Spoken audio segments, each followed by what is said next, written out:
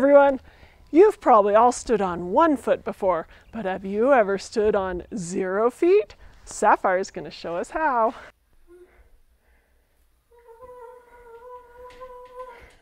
Whoa, zero feet! How did she do that? Well, if we bring the camera around, we can see that she's really standing on one foot that's hiding inside the closet. But in the mirror, when she lifts up one foot, it looks like she's lifting up both feet. This trick works because of something called symmetry. When an object has symmetry, it's the same on both sides. Our bodies are almost exactly the same on the right and on the left.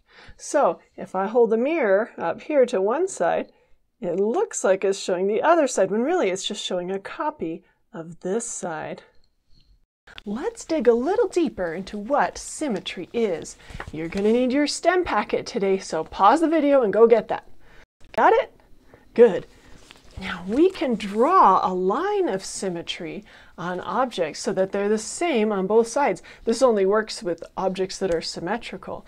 Uh, what about on this tree? So hold up your STEM packet and use it like a cover. I want you to cover up half the tree so that the part you covered up is the same as the part that's not covered up. Okay, and the place where you put your STEM packet is the line of symmetry. See? Okay, what about this butterfly? Hmm, we can't just put it up and down or left and right. Sometimes the line of symmetry needs to be diagonal. Now here we have a star. Can you cover it up so it's the same on both sides? Oh, look, there's actually a couple different ways we could draw a line of symmetry for this star. This brings us to another type of symmetry called radial symmetry. Radial is related to the words radius and radiate, which both have to do with circles. A circle has radial symmetry because you can rotate it and it stays the same. It also has regular symmetry because we can divide it in half and it's the same on both sides. This star has regular symmetry, we can divide it in half, and also has radial symmetry because we can turn it and then it's the same again. Lots of things in nature have radial symmetry, especially things that start small and grow outwards, like a flower or a starfish, or this tomato. I cut it in half so we could see the inside, and the inside has radial symmetry. Let's also cut this apple in half and look at the inside. Oh, you can see it has radial symmetry too. We can rotate it and it stays the same. Now here is a shape that I drew that does not have regular symmetry. We can't draw a line down it anywhere. It does have radial symmetry. If we rotate it the right amount, it's still the same shape. Hmm. Now take your STEM packet and turn to page three. It should look like this. In this box, I want you to draw something from around your house or in nature that has symmetry. And in order to make sure we're drawing it the same on both sides, First, I want you to draw the line of symmetry, whether it's up and down or diagonal or left to right. Probably up and down is the easiest. That's what I'm going to do because I'm going to draw my pet parakeet's head. And we'll see if we can make that symmetrical. So I'm going to draw my line of symmetry and then I'm going to draw the right hand side mm, kind of shape like this and then I'll make the shape on the left hand side match.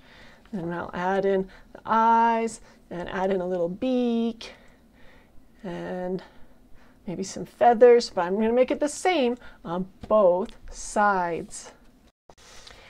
If you have time after that, there's a fun online drawing tool that I want to show you. If you go to mandalagaba.com and draw your own symmetric alien flower or creature or something. I love this tool because we can customize it in so many ways. We can change the number of lines of symmetry. If we use one line of symmetry, we'll have two parts exactly the same, but we could also do 5 or 10 or 30, and it will copy what we draw that many times. You decide how many lines of symmetry your creation will have. These buttons here change whether it has radial symmetry or not. There's a fill button in addition to the regular pencil button. We can change the background color and the thickness of the pen. Oh, and this is my favorite button. I use it all the time, the undo button.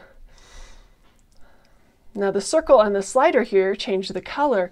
The circle part selects the hue and the slider selects light or dark.